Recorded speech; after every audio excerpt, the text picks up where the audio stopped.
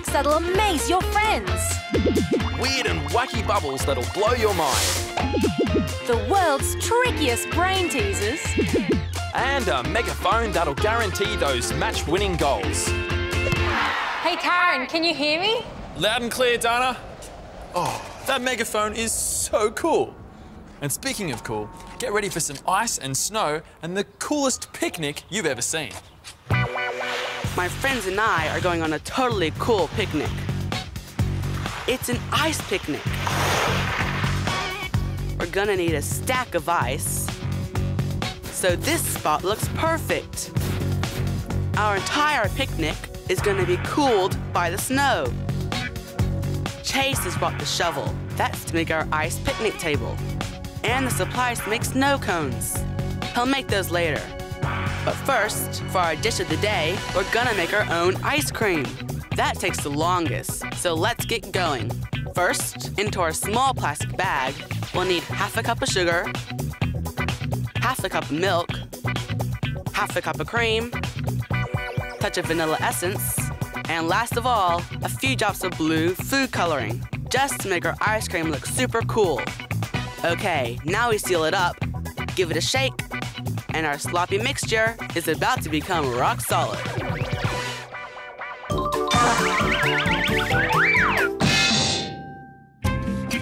Ladies and gentlemen, prepare to be amazed. You won't believe your eyes when I make my lovely assistant Grace float above this table. Abracadabra, Alice Shazam.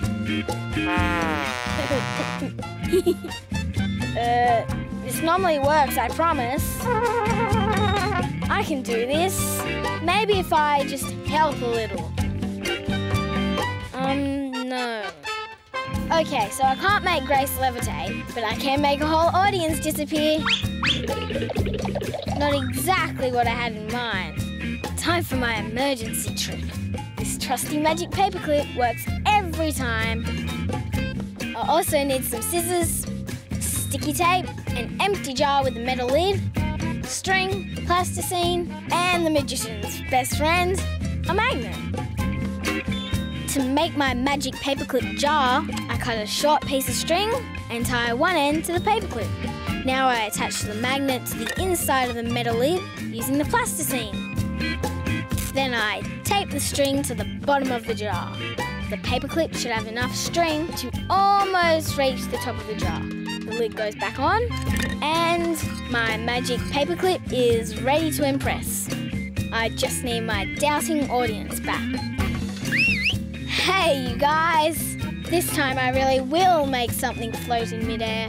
Gather around and watch closely. You won't believe your eyes. Drum roll, please. I just turn the jar upside down like this and say the magic words abracadabra. Look at that! The paperclip is suspended in midair. Now do you believe I'm magic? The secret to Kimberly's trick is the magnet. It pulls the paperclip towards it, but the string stops the two from meeting. This leaves the paperclip suspended in the jar as it tries to get to the magnet. Simple. So you see, I do have magic powers. Now for my next trick, I'll turn Grace back into a butterfly and you boys into toads. Turning boys into toads? Now that I have to see. And I can't wait to see how Dylan's going to turn his sloppy mixture into solid ice cream. My friends and I have headed to the snow for our ice picnic. We've already made our ice cream mix. Now it's time to make the world's funkiest freezer. We get another plastic bag that's big enough to hold the small one, plus two handfuls of snow. Okay, into the big bag they go. See if it's cold enough to freeze our ice cream. Needs to be colder. So, here's a trick to making our ice cream really freeze. Gabrielle's gonna put in a whole bunch of salt. Seal it up and mix it around. Okay, into the big plastic bag goes our ice cream mix. Seal it and shake it all about. Now we take turns at rolling the bag around to make sure our ice cream mix gets cold all over.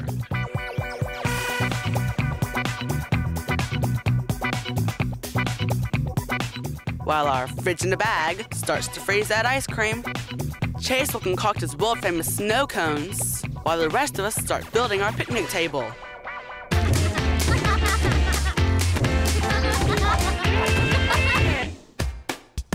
Nicole is such a super brain. She can write faster than anyone I know. And she's a super speed reader. I think it's time her nerdy super brain got a real workout. Time for a real brain challenge, Nicole. Pat the top of your head. Now rub around your tummy at the same time. I'll keep her doing that for a while. This time, pat your tummy and rub your head in a circular movement at the same time. Haha, I've got a brilliant brain tied up in knots. Our brains get used to moving each hand in a certain pattern. When we change the pattern, we alter the hand moving program in our brains. Sometimes our hands stop moving while the brain learns its new trick. She's not a fast learner after all. Whoops. Looks like she's a fast runner though. That's what I call using your brain, Zach. And Jade and Ashley have been putting their brains to work too in the backyard bubble blowing department. Bubble, bubble, toil and trouble. Magical, mystical, marvellous bubbles. Ashley and I are bubble magicians. It's so fun to watch them float away. You never know where they'll land. But they're always round.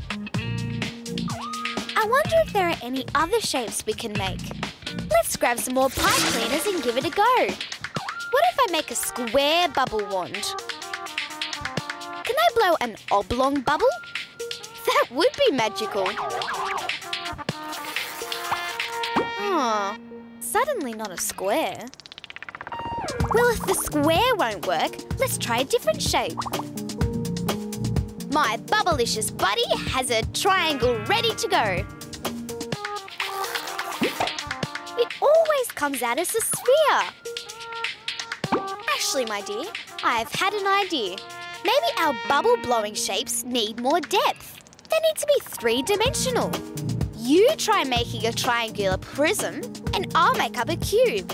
I think we might have just come up with a solution here. Perfect! A masterpiece of pipe cleaner construction. Into the magical bubble mixture they go. Wow, look at that! It's a square bubble. And check that out! A triangular bubble has formed inside the frame. But can we blow them in that shape? They're round again. After all that. Beautiful bubbles, though. Blowing a square or triangular bubble is impossible because the molecules in the mixture like to stick together in a particular way. They naturally arrange themselves into a spherical shape.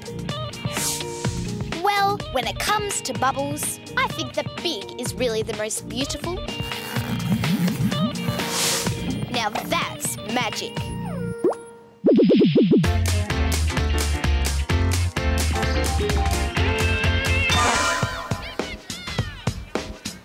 I'm coaching our neighbourhood soccer team. With the way they're playing, we'll never kick a goal. Go round! Go round! To the right! Said right! Don't kick it there! What are you doing? To the right! They're just not listening to me! I need a voice booster. I know. I'll place a rubber band around the bottle about halfway down and use that as a cutting guide.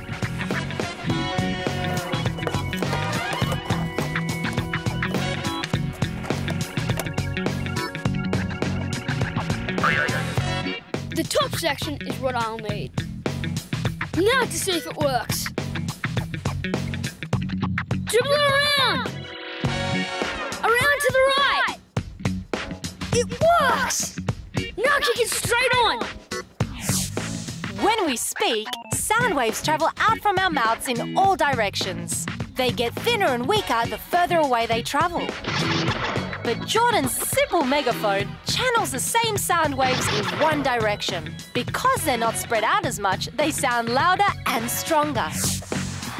He scores! A blast! A goal! Now, if they just keep listening, the neighbourhood soccer championship is in the bag. Now that is what I call a match-winning megaphone. yep, and I'd like to get my mouth around some of Dylan's prize-winning ice cream. I wonder how it's turned out. We're ready for our ice picnic to begin. Chase is putting the finishing touches on the snow cones, while the rest of us work on our ice picnic table. Better check on that ice cream. How cold is our freezer bag now? 10 degrees below freezing. Okay, really cold. Good. That salt has made our ice cream solid. Let's get this stuff onto our picnic table. Time to sample the goodies. Our ice cream is now solid enough to serve. As soon as Dylan puts salt into the bag, it begins breaking up the crystal-like structure of the ice, causing it to become liquid. Now, salt dissolves in liquid water. And because energy is required for the dissolving process, the dissolving salt absorbs heat from the water, causing it to get colder and colder. The super cold water then starts drawing heat away from the ice cream mix. So its temperature drops way below zero, making the ice cream really solid. Now let the ice picnic begin. Yum! Yum! Oh, yum! And double yum! This is the best ice cream ever! Mmm! That's it. I've got to go make some of that ice cream. Might as well, because we've come to the end of another show. See you next time.